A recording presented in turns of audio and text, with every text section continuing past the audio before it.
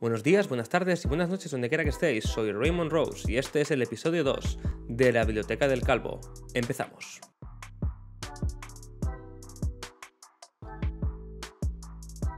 En este episodio vamos a comentar una de mis más recientes adquisiciones, que es el libro de The Fall of London, una nueva campaña para Vampiro quinta edición, en inglés todavía porque en español no ha salido, se supone que saldrá sobre diciembre de 2021, así que si estás pensando en cogértela pero no sabes exactamente lo que estás haciendo, mírate este vídeo, ve el contenido que trae y decide tú mismo cómo invertir tu dinero el mejor.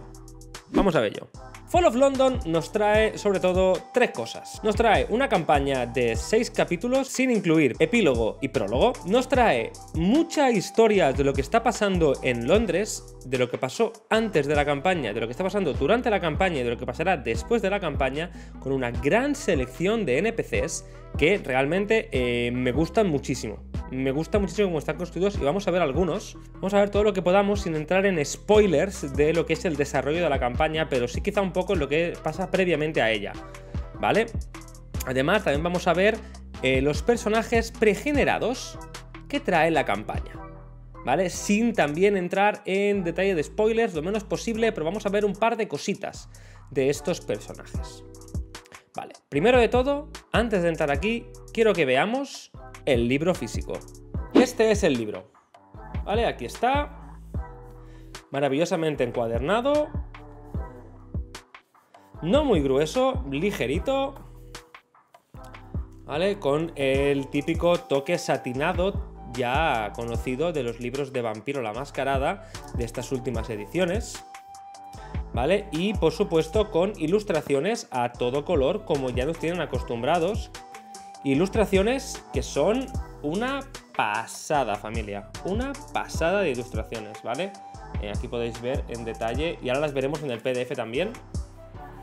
Vale, pero quería enseñaroslo en físico también para que sepáis eh, lo que es el libro físico. Ahora mismo el libro está en Amazon, donde lo he comprado yo en inglés por unos 30 euros. 30 32 euros. También lo podéis encontrar en PDF en la página de Modifius en, por unos 18 o 20 euros más o menos. Los links de todo en la descripción, como siempre. Vale, y ahora vamos al meollo, vamos a ver qué nos trae. Fall of London, pero vamos a empezar por el índice, ¿vale? Ya vemos aquí, eh, vamos a leer este pequeño prólogo. London, 2012. Mithras, among vampires, returns from diablerie at the fangs of Montgomery Coven. The heralds of the sun awaken from torpor, unable to remember who they are, but driven to seek five artifacts to restore their master to his full glory. The Second Inquisition rises to burn London, going to ashes. What legacy will you leave? Bien, he leído ya esto en tono dramático y en inglés. Bueno, lo que viene a decir esto es que Mithras, un dios entre los vampiros, un Matusalén, un tercera generación, tercera cuarta generación, uno de los antiquísimos, uno de los grandes de los vampiros, ha vuelto a la vida. Pero ha vuelto poseyendo el espíritu de su diabolista, Montgomery Coven, de quien vamos a aprender más durante el prólogo y las cosas previas de la campaña. Los heraldos del sol se levantan de su sueño, incapaces de, recordar quién son, pero sabiendo que tienen una misión, recuperar cinco artefactos. Esto nos da a ver ya de qué va a ir la campaña y realmente es eso, los heraldos, del sol o los personajes van a tener que buscar cinco artefactos para ayudar a que Mithras recupere su poder. Pero no será tan fácil, ¿por qué? Porque la segunda Inquisición también se levanta para quemar el Londres vampírico a cenizas. Y esta es una cosa que mola mucho porque tal como vamos a ir eh, viendo aquí, eh, este libro nos da una pequeña ventana a la Segunda Inquisición.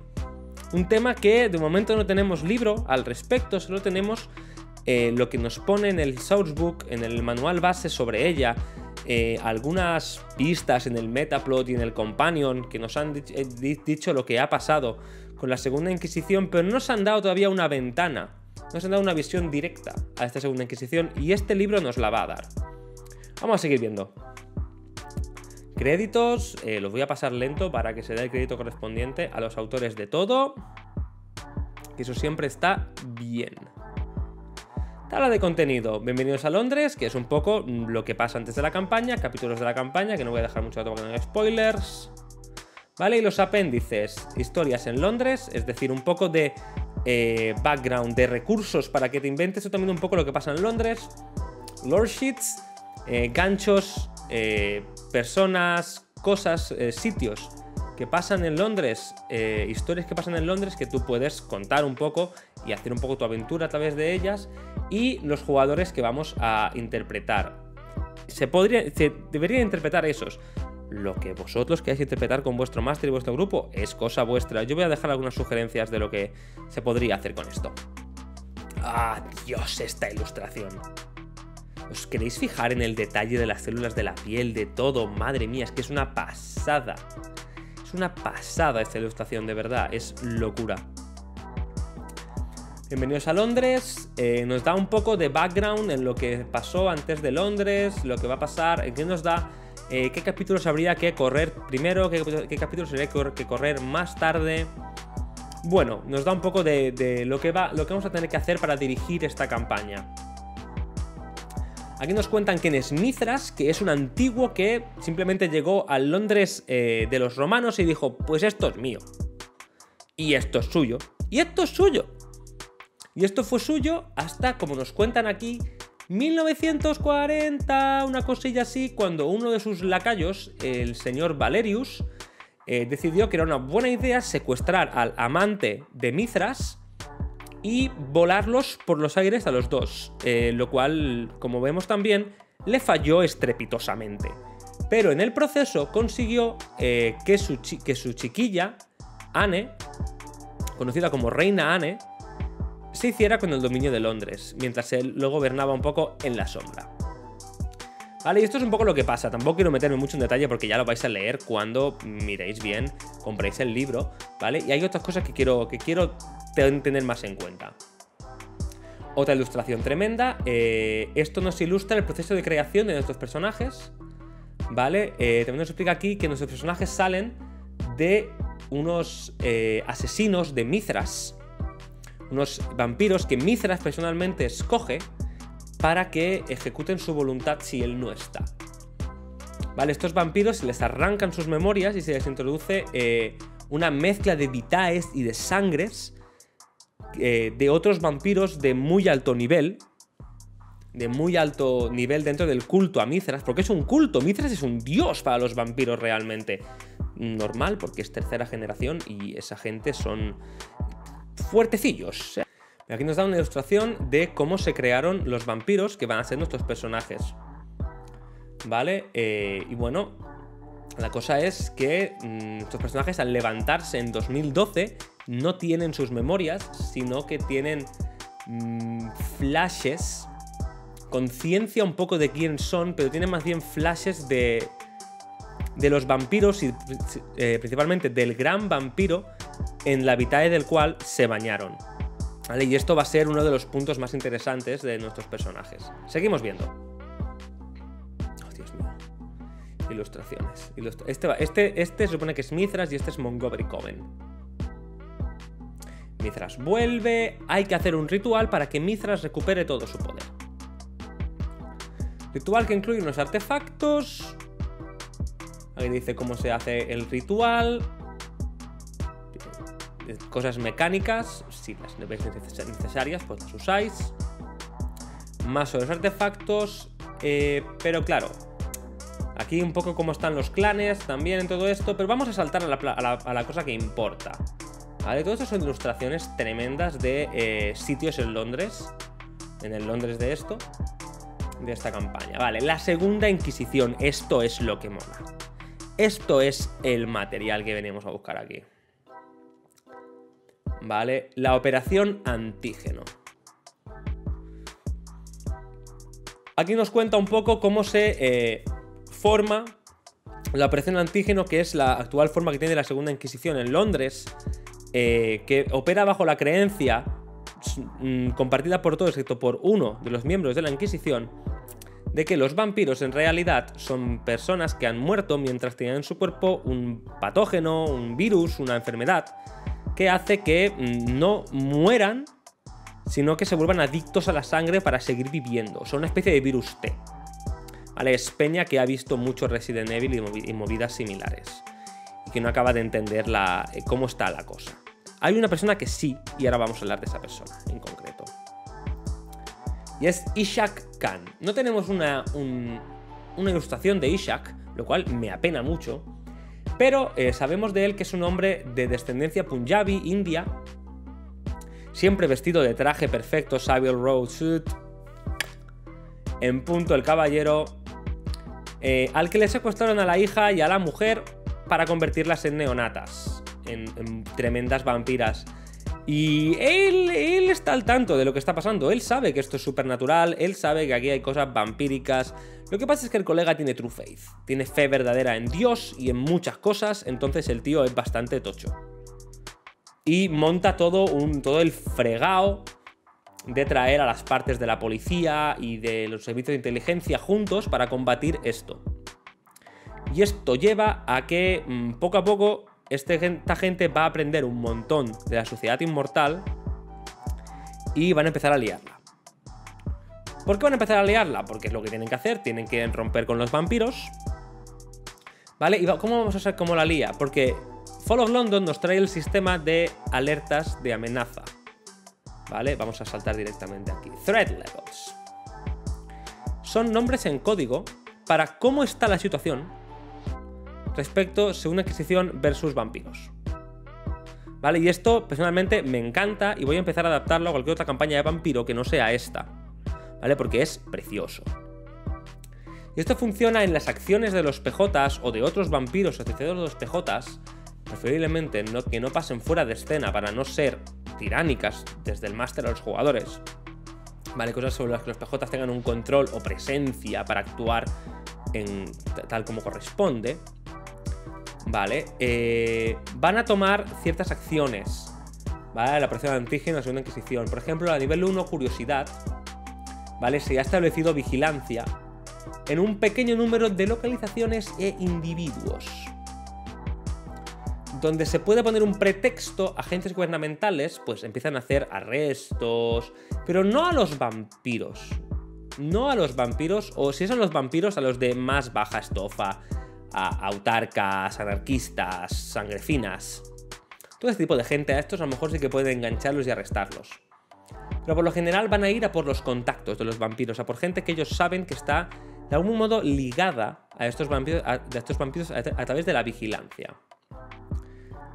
Esto es la actividad de presión antígeno y también nos decide eh, cómo se dan cuenta de esto los vampiros. Nos dice que es inconveniente porque, bueno, han desaparecido humanos de los que alimentarse, pero... Mm, eh, se puede comentar que tus contactos humanos están perdiendo un poco de eficacia, que tu amigo el policía ya no te trae todo lo que quieres, que ese amigo tuyo que está trabajando mm, en un departamento burocrático X ya no te contesta tan rápido. ¿vale? Aquellos que estén conectados bien a nivel de calle, streetwise altos, contactos de calle altos, cosas así, se pueden empezar a dar cuenta de que sus coleguis ya vampiros, ya inmortales de ese nivel, no están apareciendo. ¿Vale? Y a lo mejor se les bloquea, si están investigando tema burocrático y tal, se les bloquea por ahí. Al nivel 2 empieza la sospecha. ¿Vale? Se empiezan a vigilar eh, formas de comunicación por voz y electrónica, ¿vale? Se ha caído la green screen un poco, se ha girado, vale. Se empieza a vigilar voz, se empieza a vigilar tema electrónico, eh, se empiezan a vigilar cámaras del metro, de transporte, de los autobuses, ¿vale? Se empiezan a enviar cargos contra personas que tienen ya influencia y los refugios de pequeños vampiros, vampiros otra vez de baja estofa, no los grandes, empiezan a ser atacados. En cuanto a los vampiros, empiezan a ver que mm, algunos ghouls inmortales clave mm, han sido arrestados, o tienen demasiado miedo, o no pueden responder a comunicaciones. Los neonatos, los ancilae, que son conocidos por atender a corte, no vienen falta, no responden a las comunicaciones. Aquellos vampiros que estén más abiertos a discutir la temática, pues no estarán contentos, estarán preocupados. Y introducimos la primera mecánica, que es que todos los eh, roles para cazar en el centro de la ciudad y, sitios, sitios públicos en, los que haya movimiento tienen un poco de dificultad. Y, usos de aliado, contactos e influencia tienen dificultad. Paranoia a nivel 3. Empezamos a atacar ya a, cargos. ¿Vale? Muchos, muchos sospechosos, sus comunicaciones y movimientos están siendo monitoreados en, a tiempo real. Hay la típica furgoneta de mm, desatascos Paco, que no está en ningún lugar atascado. Eh, policía armada muy heavy empieza a aparecer por las estaciones de tren, en caso de Londres, King's Cross, por ejemplo, entre otras, en las estaciones de metro, cerradas sin notificación. Cositas así empiezan a pasar, ¿vale? También empiezan a pasar, bueno, pues que la influencia sobre las instituciones mortales, tal como la operación antígeno ha dicho, pues vamos a empezar a, cerrar el grifo, tu influencia sobre instituciones, instituciones mortales empieza a cortarse. A este momento es cuando los Nosferatu empiezan a reportarte que Shreknet eh, parece estar comprometido y que no habría que utilizar WhatsApp para comunicarse. Los, meetings públicos pues se pasan a sitios más privados, el Eliseo deja de usarse tanto, al menos los sitios más públicos del Eliseo. Aquellos vampiros que son más paranoicos por naturaleza empiezan a planear cómo esconderse o largarse y vuelven a incrementar dificultades en ciertas tiradas y ciertas cosas. Nivel 4, pánico completo. Ni un vampiro se mueve sin que la Inquisición lo sepa. Y de aquí nadie sale ni entra sin que la Inquisición lo sepa. Se empieza a buscar en undergrounds, en, bajo tierra, en todos estos. Eh, los vampiros, el príncipe, el líder de la camarilla en la ciudad, eh, tiene que declarar que de aquí la hemos liado, chavales, cada vampiro por sí mismo. ¿Vale? Eh, a buscaos la vida. La, la príncipe se está escondiendo, haced lo mismo vosotros.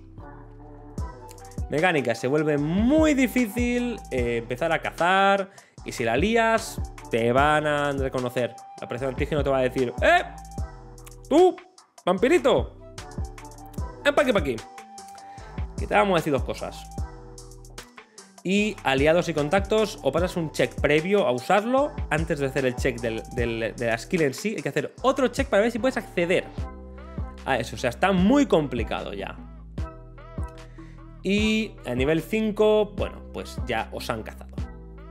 Os han cazado, Lokis. Eh, os han, se han borrado tanto que ya se creen que no, que no hay más. Eh, los vampiros, la mayoría han sido eliminados. La leadership ha sido eliminada.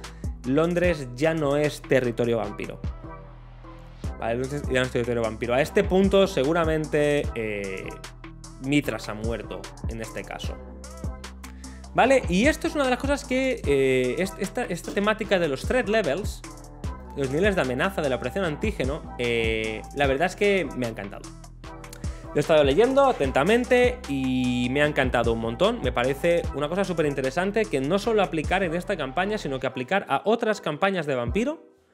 Me parece súper guay, la verdad. Y ahora, aquí en este momento, aquí es cuando ya deberíamos entrar en los capítulos, pero no voy a hacerlo porque no quiero ni un solo spoiler sobre todo porque voy a dirigir esta campaña en algún momento. Si te gustaría que te dirigiera esta campaña, deja un comentario y nos pondremos en contacto o méteme un DM al Twitter y lo vemos hablando. Vale, vamos a ver los apéndices. Bueno, ¿dónde en las historias? Eh, bueno, vemos un poco las típicas sugerencias que nos da Vampiro de, de cosas que podemos ver, películas que podemos ver, cositas eh, de la ciudad, pequeños datos, que es cómo va el metro, los autobuses, los trenes, nos da un poco un, insight en la ciudad y nos da una ilustración preciosa de Londres con el Canary Wharf aquí al, fondo, eh, posiblemente hecha desde el otro lado del, río Támesis. Maravillosa ilustración, la verdad es que me fascina, es preciosa, sin duda alguna. Me jode que tengan un lado blanco aquí, bueno, es que no está todo cuadrado del todo, pero...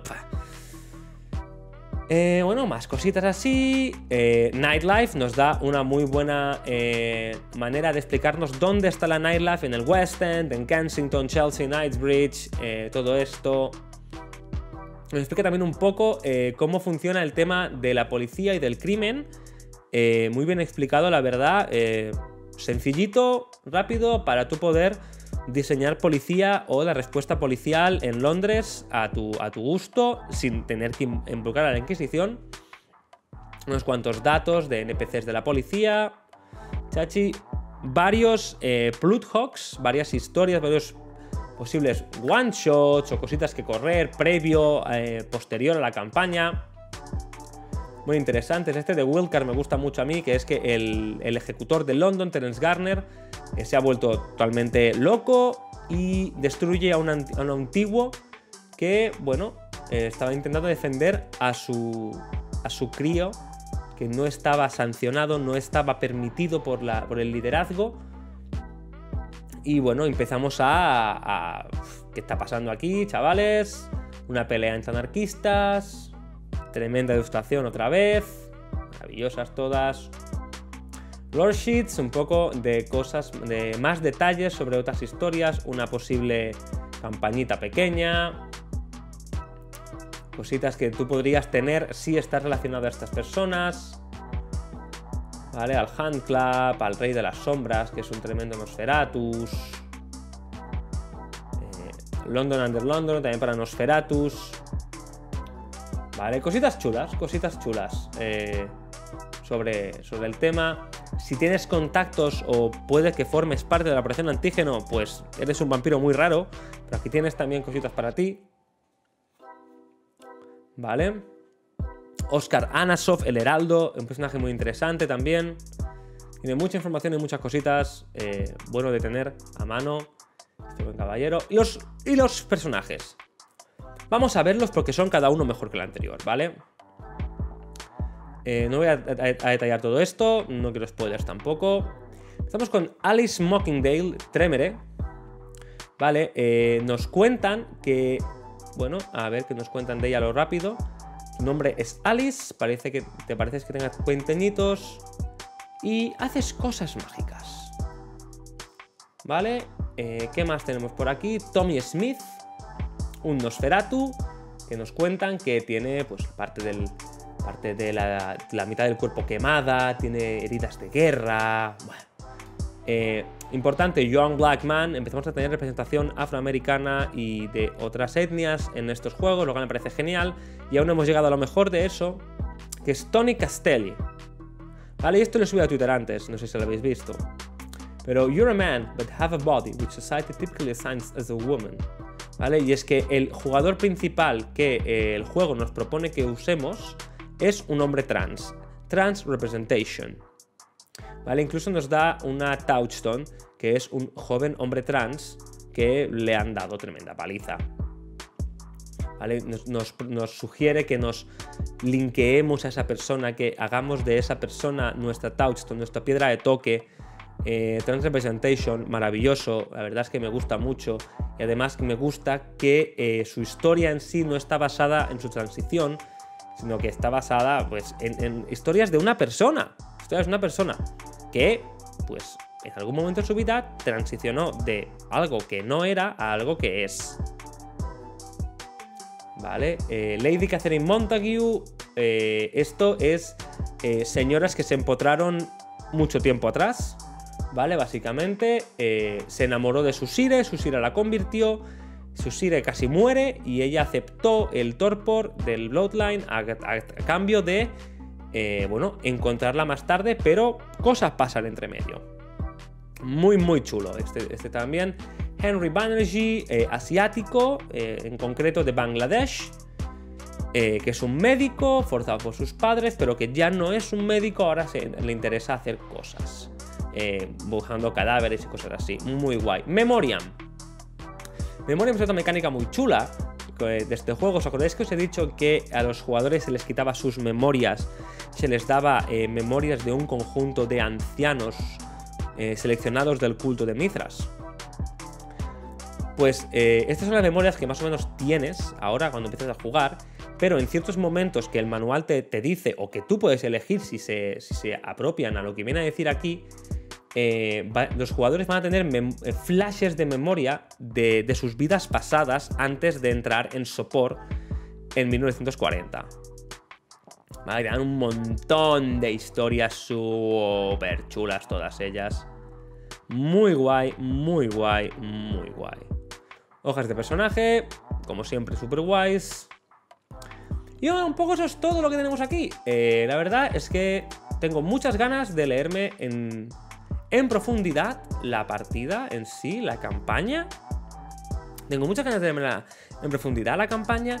Y bueno, Espero que te haya gustado y que te interese y que sigas los enlaces aquí abajo para comprarte esta tremenda campaña. Y recuerda que si quieres que te dirija esto o quieres que hablemos del tema, siempre puedes entrar a mi Twitter, darme un follow y mandarme un DM que siempre están abiertos para, hablar de temas de rol. Muchas gracias por aguantar hasta aquí. Si te ha gustado, dame un sub y un like y esas cosas que se hacen. Vale, déjame un comentario con tus ideas, con tus cosas. Discutamos un poco del tema y nos vemos en el siguiente episodio de la Biblioteca del Calvo. Hasta entonces. Tened cuidado, quedaos en casa y sed felices.